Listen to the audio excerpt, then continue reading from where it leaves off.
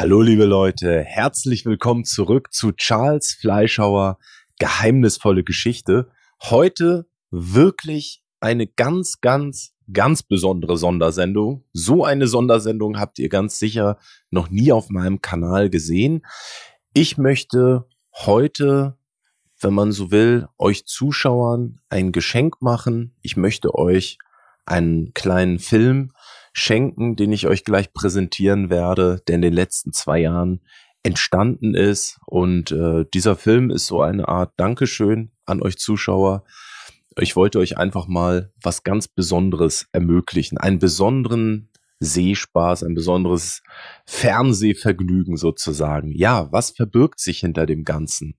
Vor ungefähr zwei Jahren hatte ich mal die Schnapsidee, ich möchte neben YouTube, meinen Sendungen, die ich hier mache, mal einen richtigen Dokumentarfilm drehen. Jetzt ist das Problem bei der ganzen Geschichte, ich bin kein Filmemacher. Ich bin Moderator, ich bin Autor, ich bin alles Mögliche, gebe Seminare. Es gibt viele Bereiche, wo ich sage, da kenne ich mich aus, da weiß ich, was ich tue. Nur Filme machen, das ist ein Bereich, da bin ich totaler Amateur, da bin ich Laie, da habe ich überhaupt keine Ahnung vom Handwerk und habe mir jetzt aber, wie gesagt, dieses Projekt vorgenommen und habe einfach gesagt, Charles, du schaffst das, auch wenn du nicht weißt, was du tust, tu es einfach und gib dein Bestes und schau mal, was möglich ist und was du erreichen kannst. Und mit dieser Einstellung und mit einem Budget von mehr oder weniger null Euro habe ich mich dann ans Werk gemacht und gesagt, äh, ich verwirkliche jetzt diesen Dokumentarfilm. Und weil man solche Projekte allein nicht schafft, habe ich mir Freunde mit ins Boot geholt. Das war als erstes mein Freund Ralf Schneider. Ralf ähm, macht die ganze Tontechnik für meinen Kanal. Also alle Sendungen, die ihr seht, da bearbeitet er den Ton, äh, was unheimlich viel Arbeit ist. Er entfernt alle möglichen Schmatz- und Grunzgeräusche, die man so macht, alles Husten, bessert den Ton auf, kümmert sich da in stundenlanger Arbeit äh, drum. Und wenn Ralf nicht gerade diese Tontechnikgeschichten macht, ist er ein begnadeter Komponist. Er komponiert Therapiemusik, Filmmusik, surreale Musik. Er ist wirklich nicht nur ein einer meiner besten Freunde, sondern auch äh, wirklich einer meiner liebsten Musiker. Und ihn habe ich gefragt, ob er bei diesem Projekt mit dabei wäre und da war gleich Feuer und Flamme, hat äh, den Kameramann gemacht für den Film, hat den Ton gemacht und er hat die wirklich schöne Musik zu diesem Film produziert. Ähm, Ziel war es, äh, einen Film zu drehen über den Salomonischen Tempel. Und ihr könnt euch schon vorstellen, wen könnte man da besseren fragen als meinen alten Freund Wolfgang Stark, der leider dieses Jahr verstorben ist. Aber damals, vor zwei Jahren, wie gesagt, hat Wolfgang ja noch gelebt und der war auch sofort dabei, hat sich zur Verfügung gestellt, sein Wissen mit uns zu teilen. Ähm, er ist aber auch nicht der einzige Referent. Auch Andreas Beutel, den Leiter des Pythagoras-Instituts, den ihr sicherlich auch von Nuviso kennt und äh, der Astrologe Raphael Hilbrand, der Standardwerke zur hermetischen und klassischen Astrologie verfasst hat. Ein brillanter Forscher, den ich sehr schätze, persönlich sehr schätze und für seine Forschungsarbeiten sehr bewundere. Der hat sich auch bereit erklärt, an diesem Film mitzuwirken. Ähm, und äh, das war dann super, das war der Anfang. Und da haben wir dann vor zwei Jahren einige Aufnahmen gemacht, richtig in so einem Greenscreen-Studio. Da möchte ich mich auch nochmal bei Matthias Hartwig äh, bedanken, der sich als Kameramann und als äh, Studiobesitzer zur Verfügung gestellt hat, uns da zu unterstützen. Da haben wir diese Aufnahmen gemacht und äh, das war auch schön und gut. Nur die lagen unheimlich lange bei mir dann auf der Festplatte auf Halde. Einfach aus dem Grund, weil ich gemerkt habe, ja, Aufnahmen vor einem Greenscreen-Studio zu machen mit tollen Referenten ist eine Sache. Ein Dokumentarfilm daraus zu basteln ist eine andere. Wo kriege ich jetzt Grafiken her? Wo kriege ich Animationen her? Äh, was mache ich eigentlich? Und wie das Schicksal so wollte, kam dann noch äh, Pierre Dietz mit ins äh, Boot, mit ins Team. Pierre war schon mehrmals auf meinem Kanal zu sehen äh, als äh, Experte für das Thema äh, König Arthurs oder wie Pierre sagen würde, King Arthur. Er schreibt da Bücher über dieses Thema, beschäftigt sich sehr mit diesen historischen und mythologischen Fragestellungen und ist aber eigentlich von seinem Hauptberuf 3D-Animator. Und Pierre hat sich dann bereit erklärt, die Animation für diesen Film zu machen und hat in unheimlicher Fleißarbeit und in, in idealistischer Arbeit äh, Tage, Wochen, Stunden in seiner Freizeit diese Sachen animiert. Also ihr merkt schon, wenn ihr mir so zuhört, dieser Film ist wirklich ein Produkt von reinem Idealismus es haben alle, die mitgewirkt haben, haben das einfach gemacht, weil sie die Idee toll fanden, weil sie gesagt haben, sie unterstützen meine Idee, diesen Film zu verwirklichen. Meine Rolle war hauptsächlich die des Projektleiters. Ich habe alles koordiniert, hatte die Grundidee und desjenigen, der dann irgendwie aus diesem ganzen Chaos einen Film macht. Und jetzt ist dieser Film endlich fertig geworden.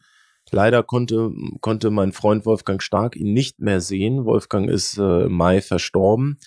Dieser Film ist auch ein, ein Andenken an Wolfgang, ein Nachträg, ein Nachruf, könnte man sagen. Ähm, und man sieht hier in den Aufnahmen auch Wolfgang noch, wie er vor zwei Jahren war, wo er noch äh, gesünder war und, und in seiner Kraft.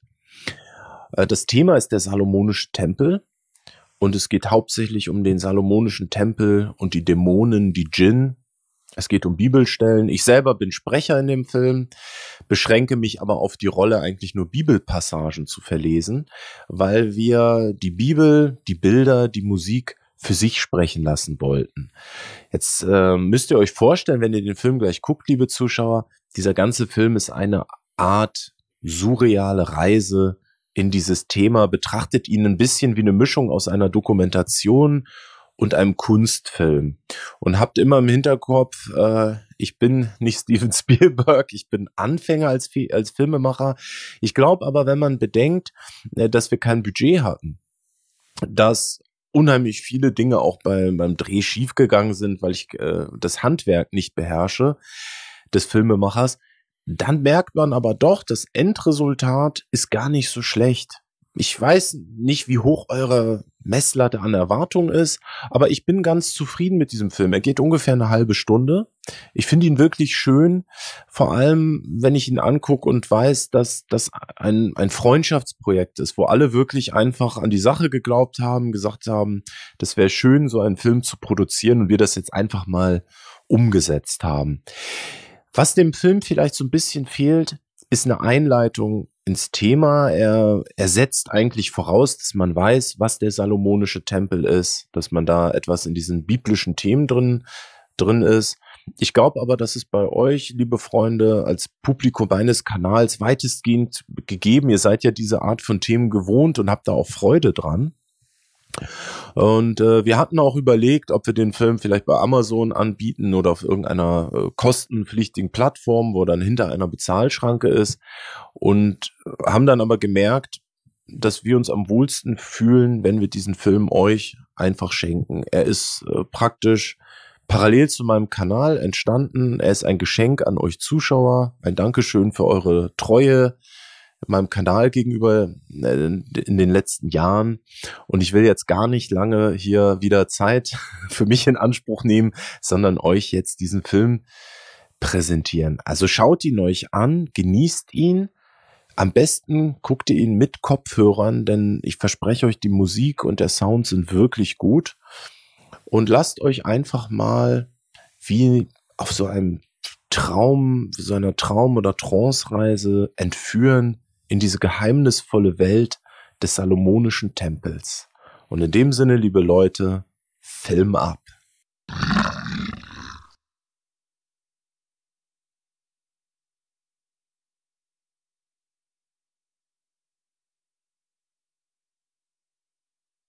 Der Salomonische Tempel, der in der Bibel beschrieben ist, im Buch der Könige und der Chronik, ist sowohl ein materieller Tempel als auch ein geistiger Tempel.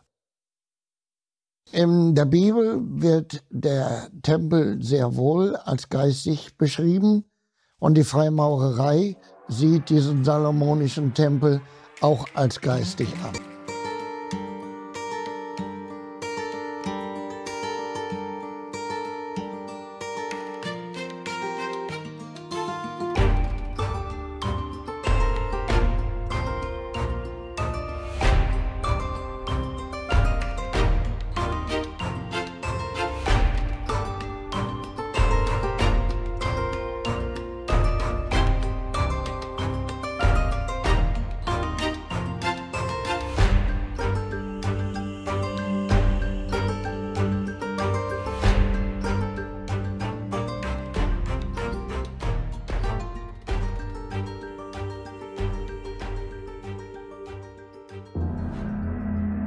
Und es war im 84. Jahr nach dem Auszug der Kinder Israel aus dem Lande Misraim, im vierten Jahr, im Monat Siv, das ist der zweite Monat, der Regierung Salomos über Israel.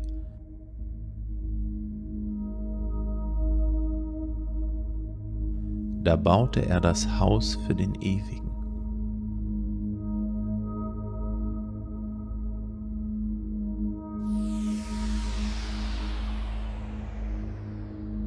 Dann hat er aus der Erde eine Figur gemacht und hat eben seinen göttlichen Atem eingehaucht und hat ihn in den Garten gesetzt, damit er ihn bebaue.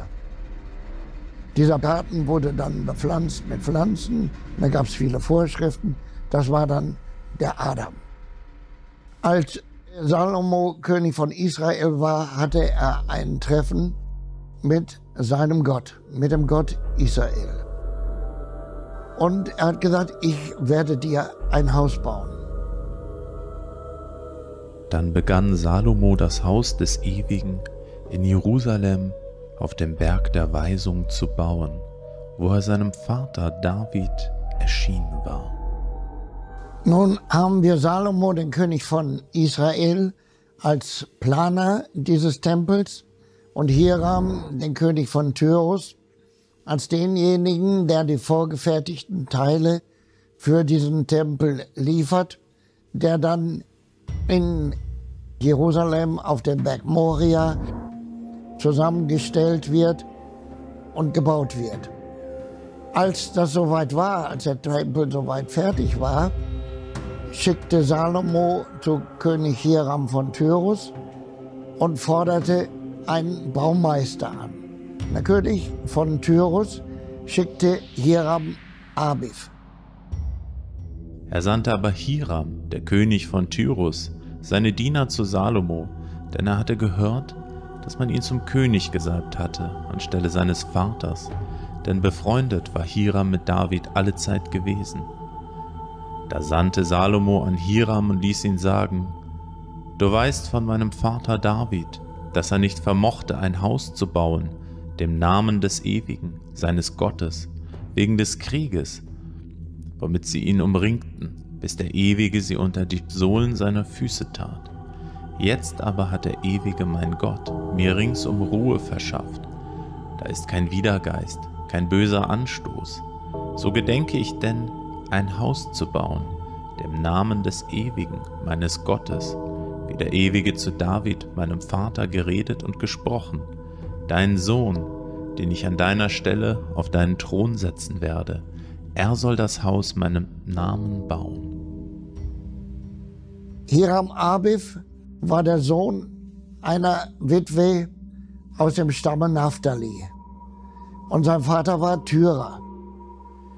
Und dieser Hiram Abif kam zu diesem Tempel und hat ihn ausgestaltet. Er hat also den Tempel nicht gebaut, sondern die Gegenstände, die in diesem Tempel waren, hat er in Erdöfen gegossen und hergestellt. Das waren Gefäße, Schaufeln, der Schauboottisch, das eherne Meer, die beiden Säulen, die vor diesem Tempel standen, die waren aus Metall und sie waren hohl. Im Testament Salomos ist beschrieben, wie diese Gefäße vorbereitet wurden, um die Djinn zu bannen. Und das Haus ward bei seinem Aufbau aus ganzen Steinen aus dem Bruch aufgeführt, und Hämmer und Spitzhacke, alles eiserne Gerät, ward in dem Haus nicht gehört, als man es baute. Ja, die beiden Säulen des Tempels, diese Dualität, die sie darstellen, die erinnert auch an ein anderes sehr wichtiges Symbol in der Hermetik und in der hermetischen Astrologie, und zwar das Symbol des Hermesstabes. Der Hermesstab ist ja ein Stab mit den beiden Flügeln ja, oben und einem äh, leuchtenden Kreis. Und um diesen Stab winden sich zwei Schlangen. Und ähm, man kann natürlich diese Schlangen mit verschiedenen Windungen, es gibt Bilder mit verschiedenen Windungen dieser Schlangen. Und ähm, es gibt ein Bild aus dem alten Sumer, ja, wo es tatsächlich sechs Windungen gibt, die diese Schlangen äh, machen. Und ich glaube, eines der Dinge, die dieser Hermesstab symbolisiert, ist eben auch diese Windungen des Tierkreises. Das heißt, wenn wir die Köpfe der Schlange bei äh, Krebs und Löwe ansetzen, dann können wir die Zeichen, die weiblichen Zeichen verbinden, also Krebs, Jungfrau, Stier, Skorpion, Fische und Steinbock. Und auf der anderen Seite die Sonnen, von der Sonnendomizil ausgehend, von Löwe ausgehend, eben die äh, männlichen Zeichen verbinden, also Löwe, Zwillinge, Waage, Widder, äh, Schütze und Wassermann. Und dann haben wir eben diese beiden Windungen der Schlange. Und das wiederum finden wir in einer anderen Kultur wieder, zumindest in einer anderen Kultur, nämlich in Indien, in der Lehre der beiden Nadis, Ida und Pingala, die vom äh, den Nasenlöchern ausgehend sozusagen die äh, durch den Körper kreisen und an den Schnittstellen eben auch die Chakras sich befinden, die Chakras oder Chakren sich befinden. Und auch das ist ein System, was eben sieben Kreuzungspunkte hat, so wie wir das eben im Zodiac auch haben. Das höchste wäre sozusagen außerhalb des, des ähm, oberhalb des äh, dritten Auges, ja, im Scheitel. Das heißt, das ist eine Symbolik, die zeigt diese Dualität, ja, wie sie quasi äh, vermählt ist, die Dualität weiblich, männlich, mondhaft, sonnenhaft, Yin und Yang, wie dadurch die Weltseele auch waltet, ja? Und zu dieser Weltseele gehören eben auch diese Planeten, die Planetenkräfte, ja, die, wie in der Hermetik auch gesagt wird, der inkarnierenden Seele ihre Potenzen geben, ihre, ihre Tugenden geben, ihre Kraft geben, ja, und so den Menschen mitgestalten, ja. Und auf der anderen Seite, wie ich schon gesagt habe, der, die, die Seele nach dem Tod auch wieder durch die Sphären durchgeht, um zu dem, zu der Heimat der Seele, nämlich dem Sternenhimmel zu gelangen. Dieser Gott der mit Hashem als Name bezeichnet ist, dessen Namen sollte Salomo einen Tempel bauen. Wie hat er das jetzt gemacht? Als Salomo König wurde, hat er einen Kontakt gesucht zu Hiram, dem König von Tyrus. Wer war denn König Hiram von Tyrus? Da gibt uns das Buch Hesekiel Auskunft. Im Hesekiel steht über Hiram, den König von Tyrus, wie bist du gefallen? Mein schönster Engel warst du. Du warst ein gesalbter Cherub. Du warst im Garten Eden. Du warst auf dem Berg Gottes. Unter den neun Steinen bist du gewandelt. Im Gold. Über die glühenden Steine bist du gewandelt auf dem Berg Gottes. Dann hast du dich überhoben und ich habe dich auf die Erde geschmissen. Mein gesalbter Cherub, der schönste Cherub, den ich jemals geschaffen hatte. Das ist schon ein bisschen nachdenkenswert. Warum nimmt nun König Salomo Kontakt auf mit Hiram, dem König von Tyrus, oder mit diesem gefallenen Cherub. Wenn er diesen Tempel für den Namen Gottes bauen will. Ganz einfach. Denn Hiram, der König von Tyrus, als Cherub, kannte das Original im Himmel. Und Salomo konnte das Gegenstück auf der Erde bauen, nach hermetischen Gesetzen, wie oben, so unten. Und der König von Tyrus hat dann dem Salomo berichtet, Dein Vater war schon immer ein sehr guter Freund von mir und ich habe mit deinem Vater auch sehr gut zusammengearbeitet und ich werde dir das liefern, was du benötigst. Und Salomo hat ihn gebeten, ihm alles Material zu liefern für diesen Tempel.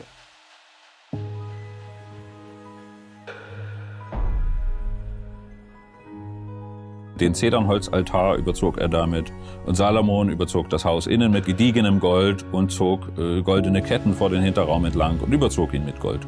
Und das ganze Haus überzog er mit Gold, das ganze Haus vollständig. Und auch den ganzen Altar, der zum Hinterraum gehörte, überzog er mit Gold. Bei dem salomonischen Tempel ist, sagen wir mal, auffällig, dass bei der Baubeschreibung, auf die sich ja die meisten erstmal beziehen, was, was in der Bibel im äh, ersten Buch Könige ist, relativ genau angegeben ist, wie die Maße sind von dem Tempel. Und aus der Sicht der Geometrie, so wie ich das äh, kenne, untersuche, äh, anschaue, fallen da erstmal zwei, drei Sachen auf. Also es wird angegeben, dass der Tempel 60 Ellen lang ist, 20 Ellen breit und 30 Ellen hoch. Und in der in der Geometrie kommt, geht es ganz oft äh, um, um Proportionen, also um die Verhältnisse zueinander. Und dies war die Grundlegung Salomos beim Bau des Gotteshauses. Die Länge in Ellen nach dem früheren Maß 60 Ellen und die Breite 20 Ellen. Und die Halle, die vor die Langseite vor der Breitseite dem Haus war, 20 Ellen und die Höhe 120 und er überzog sie von innen mit reinem Gold, und das Großhaus verkleidete er mit Zypressenholz, überzog es mit feinem Gold und brachte darauf Palmen und Ketten an. Dieser Tempel wurde dann gebaut mit dem Material, was der König Hiram von Tyrus geliefert hatte. Das war alles fertig, das Material, und in der Bibel ist berichtet, dass während des Baus der Klang des Hammers nicht zu hören war. Das heißt, der baute sich ohne Geräusche. Ja, wenn wir 60, 20, 30 nehmen, dann haben wir einmal das Verhältnis 1 zu 3, also Breite zu Länge und äh, zur Höhe wäre dann äh, 1 zu 2 oder 2 zu 1. Und damit haben wir sowas wie die Grundproportionen schon in dem ganzen Bau enthalten. Einmal natürlich, weil es einfach ist, das zu konstruieren, aber andererseits auch sind es, sind es mathematische Proportionen und musikalische Proportionen, die dort eine Rolle spielen. Ja, für äh, ganz einfach in der Musik am Klavier gibt es äh, die, naja, wie sagt man, Intervalle, genau. Und das einfachste Intervall ist das von der Oktave, von C bis zum nächsten C. Und wenn wir die Frequenzen anschauen, ist das das Verhältnis 1 zu 2. Also die verdoppelt sich immer. Von einem C zum nächsten oder vom D zum nächsten D ist immer das Doppelte. Und das wäre eben das Verhältnis äh, 1 zu 2 oder in diesem Tempel Grundmaßen wäre das die Länge von 60 zu 30. Ja, das ist also ähm, wenn, man, wenn man die Länge betrachtet. Das nächste ist das Verhältnis 2 zu 3, das ist die Quinte, die ähm, recht interessant ist, die ein, ein sagen wir, öffnendes äh, Intervall ist in der Musik, also vom C zum G wäre das, und das ist 2 zu 3. Das sind die Verhältnisse, die wir dort drin haben. Wir können uns ja grundsätzlich mal mit der Frage beschäftigen, was, was ein Tempel überhaupt ist oder sein soll. Da würde man dahin kommen, dass ja ein, ein, ein Tempel ein Ort ist, um mit, mit dem ähm, Heiligen oder mit Gott zu begegnen, was auch immer Gott ist in dem Zusammenhang. Was ist nun der Name Gottes? Den finden wir in der Bibel. In der Bibel im ersten Buch Moses, Vers 1, da geht das los, im Anfang schuf Gott Himmel und Erde und die Erde war wüst und leer und Finsternis war über der Tiefe und der Geist Gottes schwebte über den Wassern. Das war vor der Schöpfung. Es ging aber darum, dass er Gott sagte, du wirst meinem Namen ein Haus bauen. Bei diesem salomonischen Tempel geht es um einen Tempel, der dem Namen Gottes gebaut wird. Der Name Hashem, denn die Juden werden diesen Namen nicht aussprechen und sagen nur Hashem. Geschrieben wird das Adonai. Es gibt bei uns die Bibel, die Elberfelder Bibel mit der Ausgabe 1905. Die ist wörtlich übersetzt, wie es in der Tora geschrieben ist. Und in der Elberfelder Bibel steht, und so schuf, dann kommt das sogenannte Tetragrammaton, das sind vier hebräische Konsonanten. J, He, V, He oder J, He, Waf, He. Das sind vier Konsonanten, der Name dieses Gottes, der da beschrieben ist, der aber nicht aussprechbar ist. Man kann also vier Konsonanten nicht aussprechen, der ist nicht sprechbar. Und früher, nach der Überlieferung der Bibel, wurde dieser Name einmal im Jahr vom Hohepriester im Allerheiligsten ausgesprochen. Ansonsten weiß man nicht, wie er gesprochen wird. Ich werde also nur immer Hashem sagen, der Name, wenn ich dieses Tetragrammaton oder den Namen dieses Gottes meine. Nun ist im zweiten Kapitel der Genesis äh, beschrieben, und so schuf Hashem Himmel und Erde. Da geht es nicht um ein Sieben-Tage-Werk, sondern Hashem hatte im Anfang eine wüste Erde vor sich. Und da hat er im Osten von Eden, das ist das Land, im Osten von Eden einen Garten gemacht. Und Salomo war Herrscher über alle Königreiche vom Strom zum Land der Philister und bis zur Grenze Misraims. Die brachten Geschenke herbei und dienten Salomo alle Tage seines Lebens. Im Sohar, das ist eine vertiefende Schrift zur, zur Torah und zum Tanach, da steht, und der Tempel, wie er sich baute. Und in unserer Bibel steht, der Tempel, wie Salomo ihn setzte. Wer war denn nun dieser Salomo in der Beschreibung der Bibel? In der Bibel steht, und Salomo war der weiseste aller Weisen. Seine Weisheit übertraf alles, was damals bekannt war. Und Gott gab Salomo Weisheit und Einsicht über die Maßen und einen weiten Geist gleich dem Sand, der am Ufer des Meeres ist. So war der Weisheit Salomos mehr als der Weisheit aller Söhne des Ostens und aller Weisheit Misraims. Und er war weiser als alle Menschen. Er sprach über die Tiere, über die Vögel, über die Fische, über die Insekten, über die Pflanzen. Er sprach über die Zeder, die im Libanon wuchs. Und er sprach über den Ysop, der aus dem Mauerwerk wuchs. Er sprach eigentlich über alles. Und er redete über die Bäume, von der Zeder auf dem Libanon bis zum Isop, der aus der Mauer wächst. Und er redete über das Vieh und die Vögel und das Gewürm und die Fische. Und sie kamen von allen Völkern, die Weisheit Salomos zu hören, von allen Königen der Erde, die von seiner Weisheit vernommen hatten. Er sandte aber Hiram, der König von Tyrus, seine Diener zu Salomo, denn er hatte gehört, dass man ihn zum König gesalbt hatte anstelle seines Vaters, denn befreundet war Hiram mit David alle Zeit gewesen. Das muss man nicht unbedingt als die super Weisheit anerkennen, möchte ich mal so sagen. Wenn wir jetzt aber den Koran betrachten, da ist diese Geschichte auch beschrieben. Im Koran ist auch ein Schöpfungswerk, wie Allah alles erschaffen hat. Der hat also am Anfang äh, aus Erde einen Menschen gemacht, hat ihm seinen Atem eingeblasen und hat ihn in den Garten gesetzt. Genau wie bei uns in der Bibel. Nun ist aber der Salomo insgesamt, wenn er über alles spricht und so viel kann und so weise ist, irgendwo auch der Herrscher.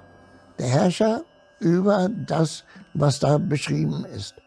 Und zwar im Zusammenhang mit dem Koran nicht nur der Herrscher über Menschen und Tiere und Pflanzen, sondern auch über Geister.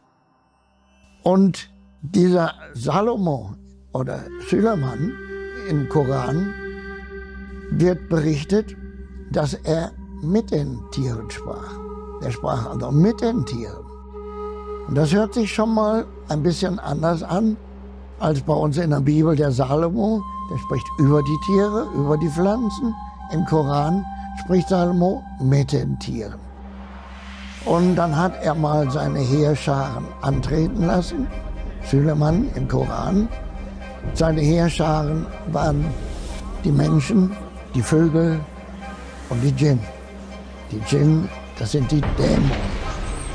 Dann hat er die äh, zum Rapport bestellt, hat viel mit ihnen gesprochen und befohlen. Vor der Kreation, vor der Schöpfung dieses Menschen hat Allah noch etwas anderes erschaffen. Nämlich aus dem Feuer hat er einen Djinn kreiert, einen Dämon.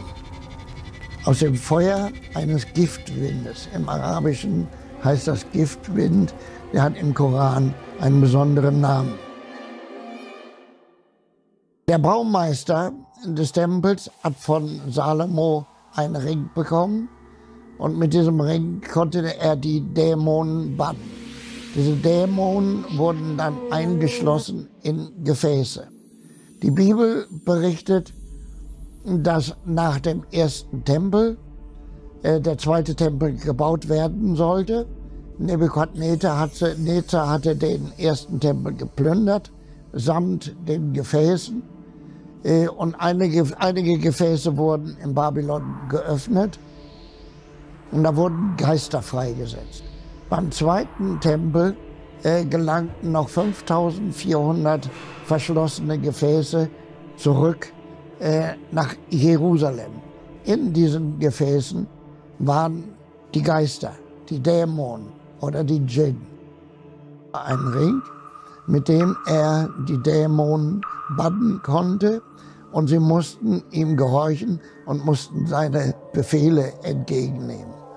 So etwas Ähnliches haben wir auch in unserer Bibel.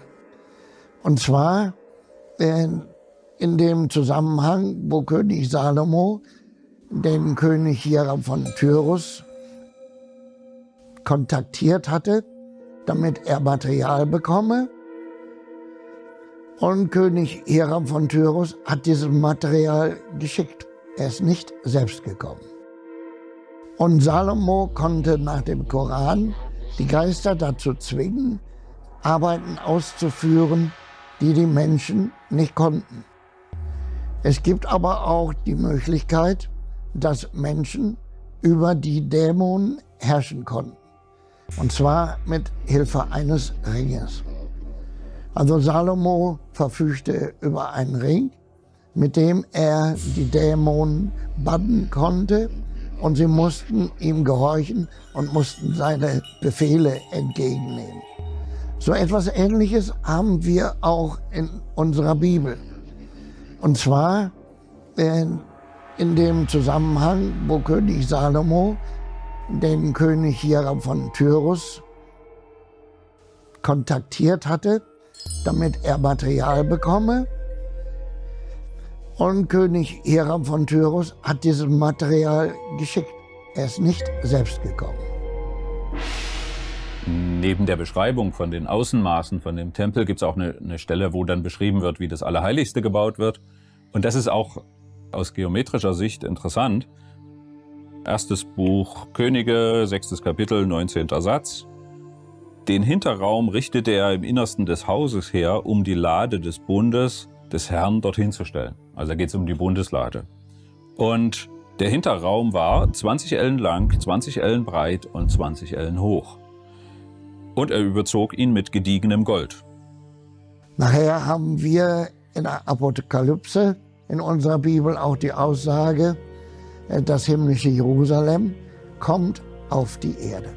Das himmlische Jerusalem senkt sich herab auf die Erde und Gott wird bei euch sein.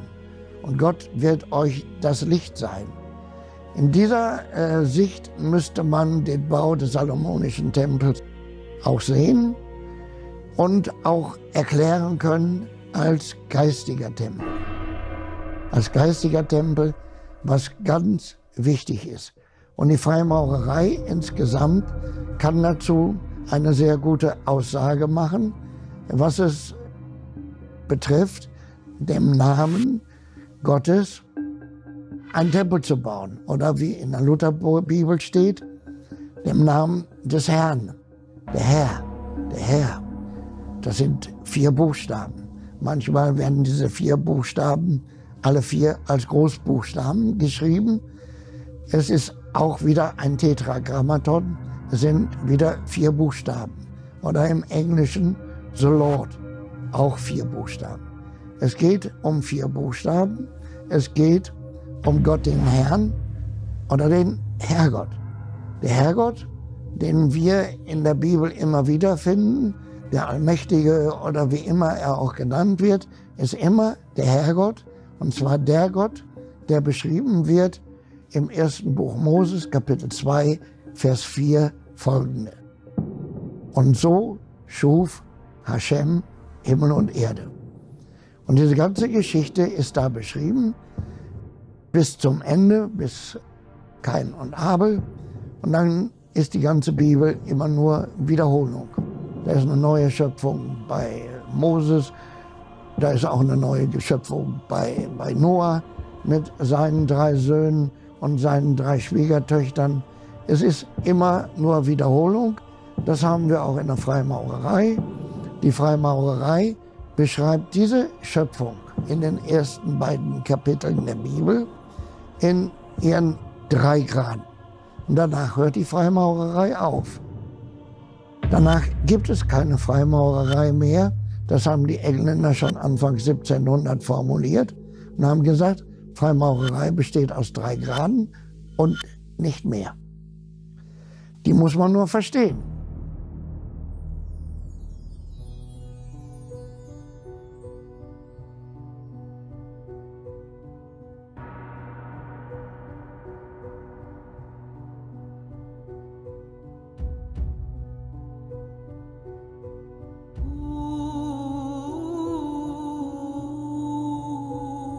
Als so all die Arbeit, die Salomo für das Haus des Ewigen anfertigen ließ, vollständig war, da brachte Salomo die Weihgaben seines Vaters David hinein, und das Silber, das Gold und alle Geräte tat er in die Schatzkammern des Gotteshauses.